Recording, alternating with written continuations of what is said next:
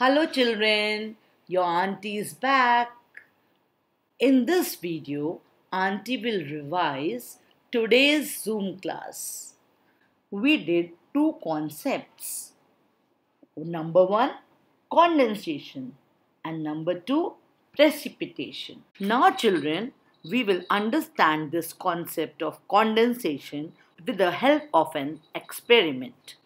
Take a pan of hot water and cover it with a lid or a plate. Now children, be careful because it is a hot pan. Let the hot water cool down. Now remove the lid and you will find that the lid is full of drops of water. This is the same water which was inside the pan and started rising up as water vapor, as we saw in the evaporation experiment.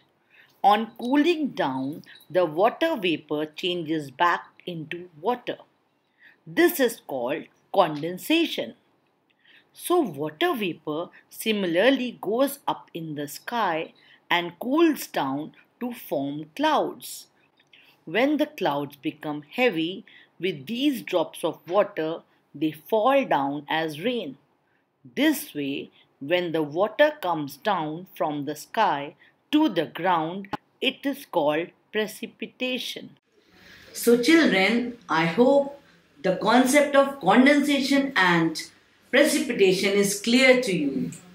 Now we will again meet in the next video. Then I will explain you water cycle. Till then, bye. Love you.